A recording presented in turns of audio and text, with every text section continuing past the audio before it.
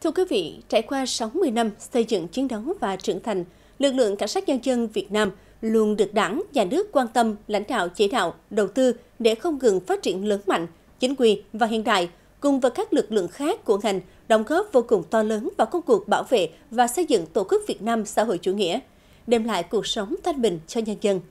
Tại thành phố Đà Nẵng, lực lượng cảnh sát nhân dân đã kề vai sát cánh, chung sức, chung lòng cùng với các lực lượng đấu tranh có hiệu quả với nhiều loại tội phạm, xâm phạm trật tự an toàn xã hội.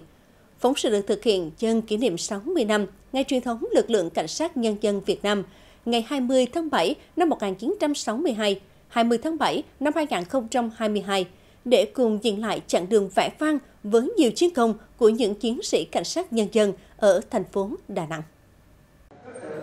60 năm qua ở thành phố Đà Nẵng, cùng với công an cả nước, lực lượng cảnh sát nhân dân đã có những đổi thay về mặt cơ cấu tổ chức. Song ở trên các lĩnh vực công tác, mẫu xanh của những người chiến sĩ công an nhân dân đã và đang nỗ lực tận tụy, không quản ngại khó khăn gian khổ. Một trong những quyết sách lớn của Bộ Công an khi tinh gọn bộ máy phải kể đến là đưa công an chính quy về xã, hàng chục cán bộ chiến sĩ xung phong tăng cường để giúp tình hình an ninh trật tự trên địa bàn các xã nông thôn miền núi Hòa Vang được giữ vững, người dân thôn quê thêm phần an tâm, tin tưởng. Các anh ờ, công an chính quy là ở ở tay họ đưa về là mấy anh lồn có việc công việc là công minh nên mà dân rất là tin tưởng cũng như là à, hiện nay là nọng cờ bọt là không còn. Trung bình mỗi năm, lực lượng cảnh sát nhân dân của công an thành phố đã chủ động tham mưu triển khai nhiều phương án, kế hoạch kéo giảm 10% tội phạm về trật tự xã hội. Năm sau giảm nhiều hơn so với năm trước. Tỷ lệ điều tra phá án chung đạt trên 80%, án nghiêm trọng đặc biệt nghiêm trọng đạt 100%. Vượt qua những khó khăn nguy hiểm của dịch bệnh COVID-19, tinh thần trách nhiệm của cán bộ chiến sĩ cảnh sát nhân dân luôn tiên phong đi đầu, giúp công an thành phố hoàn thành mọi nhiệm vụ trong điều kiện dịch bệnh đầy khốc liệt. Sau những vinh quang là biết bao những hy sinh đánh đổi. Ngay trong thời bình, máu của các chiến sĩ cảnh sát nhân dân vẫn đổ. Sự hy sinh của thiếu tá Đặng Thanh Tuấn và thượng sĩ Võ Văn Toàn đã trở thành tấm gương sáng cho toàn thể cán bộ chiến sĩ trong lực lượng công an nhân dân. Nguyện phấn đấu học tập, phát huy tinh thần vì nước, quên thân, vì dân, phục vụ. Sự hy sinh của các anh sẽ là động lực cho chúng tôi cố gắng phấn đấu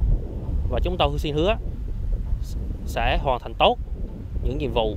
mà các anh còn đang dang dở. Đến thăm và chúc mừng Công an thành phố dân kỷ niệm 60 năm ngày truyền thống lực lượng cảnh sát nhân dân, Ủy viên Ban chấp hành Trung ương Đảng, Bí thư Thành ủy Đà Nẵng Nguyễn Văn Quảng đánh giá cao những nỗ lực, cố gắng của toàn lực lượng Công an thành phố nói chung, lực lượng cảnh sát nhân dân nói riêng trong đấu tranh trấn áp các loại tội phạm, đảm bảo an ninh trật tự trên địa bàn, đồng thời kỳ vọng sự lớn mạnh của lực lượng cảnh sát nhân dân sẽ góp phần quan trọng giúp tạo dựng môi trường an ninh, an toàn của thành phố trong tương lai. Đề nghị đồng chí à, tiếp tục à, phát huy cái truyền thống đoàn kết không ngừng à, rèn luyện, nâng cao năng lực trình độ,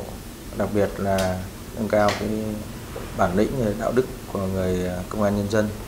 để tiếp tục hoàn thành xuất sắc các nhiệm vụ đảng, nhân dân đặc biệt của à, đảng ủy công an trung ương, của thành ủy ban nhân dân và đồng nhân dân giao cho các đồng chí.